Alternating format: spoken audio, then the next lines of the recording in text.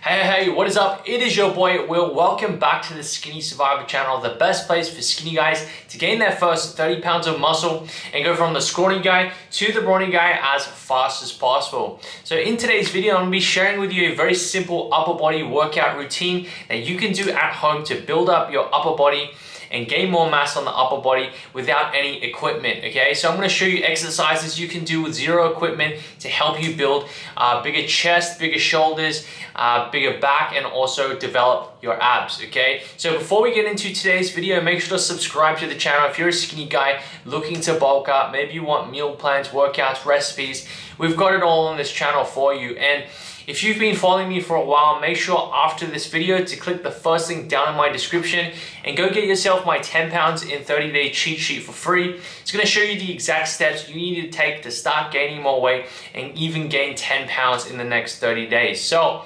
Basically, in today's workout, I'm gonna run you through a couple exercises. We're gonna develop your entire upper body with zero equipment, and we're gonna go through something called AMRAP, which is doing as many reps as possible during 45 second rounds, okay?